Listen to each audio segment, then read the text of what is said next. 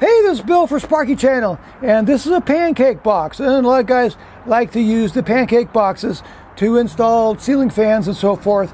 And the advantage of them is you uh, use lag screws and you screw it right to a stud or to a ceiling joist, and then you just finish your drywall right up to it. And uh, the disadvantage is that it's very small. This one's a six cubic inch box. It's written right on the boxes as six cubic inches. So we can't exceed the six cubic inches with our conductors and our connectors and so forth. So what I have here is a 14-2 with ground cable, Romex cable, coming into the box, and that gives us two conductors right here. We have a black hot conductor and a white neutral conductor. Okay, so that's got to be accounted for in the box. We have an equipment grounding conductor right here. That's the green wire. It uh, bonds the metal box to the grounding system of the house. So we got the ground wire from the cable hooked to that. And then we're going to be hooking up a fixture to this. And this is also an equipment grounding conductor. And it would just go right in here. See, I, I used a three connector Wago lever nut. So you just put it in there like that. So this is an equipment grounding conductor and this is an equipment grounding conductor for the fixture. See, that's an, actually an important point that these are separate equipment grounding conductors. When we get to the code, you, you kind of need to know that. These are both equipment grounding conductors. This one's for the fixture though. All right, so the question is, have we exceeded the capacity? This is six cubic inches and I'm going to go over how you figure out the capacity for two 14 gauge conductors and an, and an equipment grounding conductor. Another point is that this area right here on the fixture is usually called the canopy and you can't make connections in this because it's not listed, it's not labeled for electrical connections. So all the electrical connections actually have to be made in this box. So that's the question. Does this 6 cubic inch box leave enough room for these wires and connectors and for the wires from the light? Here we are at 2020 NEC code 314.16b box fill calculations. That's what we're doing. We're going to figure out the box fill calculations for that little pancake box to see if we're correct or not. So the volumes in paragraphs 314.16 B1, which is right here, through B5 as applicable, shall be added together. No allowance shall be required for small fittings such as lock nuts and bushings. So we have a little clamp in the box, and that's not going to count.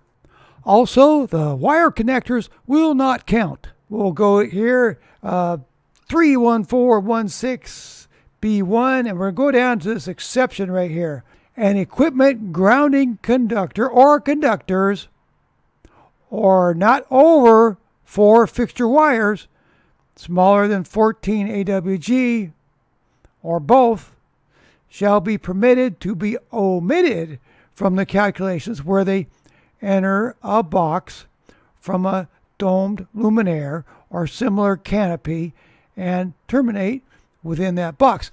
So we have an equipment grounding conductor from the luminaire, from the light, that little 20 AWG wire, a stranded wire, that we shall be permitted to omit from the calculations. Okay, so that little ground wire doesn't count. And then we have the two conductors coming from the fixture, the white and the black. So it says, or conductors are not over four fixture wires smaller than 14 AWG. So the white and the black are 18 AWG, or both, shall be permitted to be omitted from the calculations. So we can also omit the white and black wires coming from the fixture. So we've pointed out what doesn't count in the box fill calculations. Let's start in on what does count. This is table 314.16b, volume allowance required per conductor. Now, our cable coming in is 14 gauge. That is 2 cubic inches per conductor. We have a white wire and a black wire, both 14 gauge.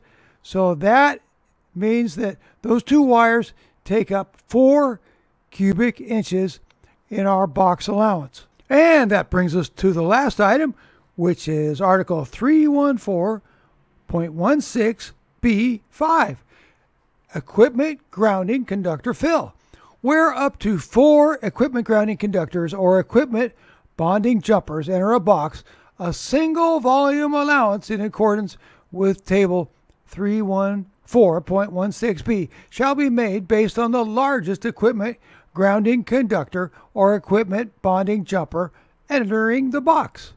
And then this is new for 2020.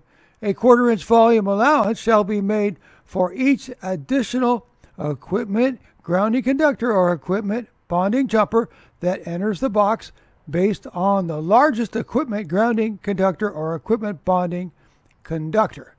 So we got a single volume allowance. So our grounding wire coming into the box is 14 gauge. And let's assume that our ECG wire going to the box is also 14 gauge. So our largest grounding wire would be 14 gauge and that would give us two cubic inches. So we have two 14 gauge conductors for four cubic inches and we have one ground wire and one ECG wire going to the metal box. And that is two cubic inches for the total of six cubic inches. And the total capacity of the pancake box is six cubic inches. So we just barely made it. If you said yes there's enough room for this configuration of wires. You're correct. 6.0 for our box fill calculation and 6.0 cubic inches for the capacity of the box. I'll put a link in my video description for the Hubbell Raco pancake box, which is acceptable for ceiling fans. And I'll put a link in my video description for the Hubbell Raco ceiling fan electrical box, which is acceptable for the fans, but it's an exterior box. I'll also put links for various kinds of 2020 NEC approved ceiling fan boxes. And I'll put links for both the 2020 NEC Spiral Bound Codebook and for the 2020 NEC Handbook. Thanks. I hope this video was helpful.